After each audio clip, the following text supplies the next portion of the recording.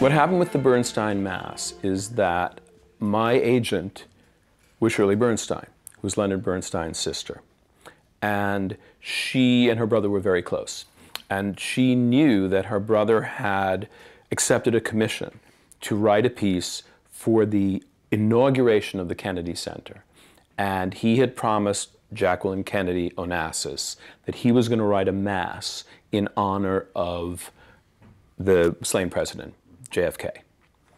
And he had been working on it for a while, and basically he was nowhere.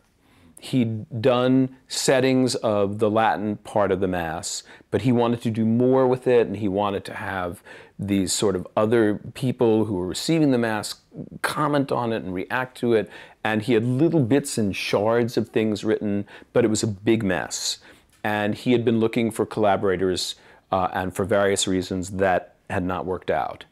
And meanwhile, it was announced. It was opening at the Kennedy Center on September whatever, September 8th, 1971, and it was now late May of 1971, and he had nothing, basically.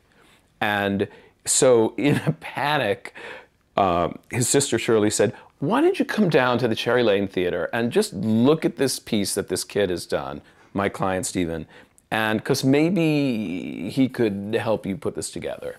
And that's what happened. Lenny came down, he saw Godspell, and, and then we started working. And basically, what I was able to contribute to Mass was some kind of structure.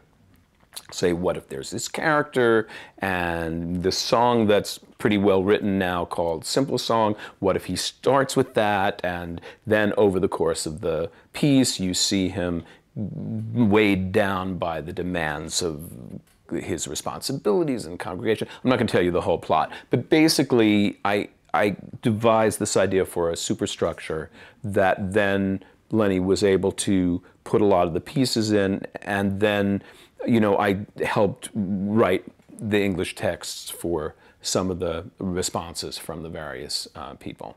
And this was another thing that had to be done so quickly um, that basically what got performed at the Kennedy Center was more or less the first draft of the lyrics. The Mass, oddly enough, is is really resurgent now, and musically, it feels fresher and less dated than it did when it first came out.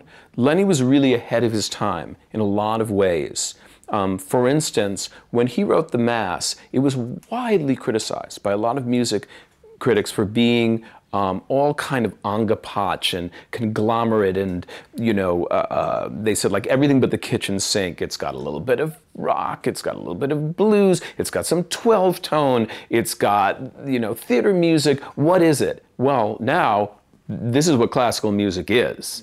All of classical music has caught up with that. And well not all of it but a great deal of classical music is now um, you know, a, a, combination of various styles. But at the time, it just struck a lot of people as a mess.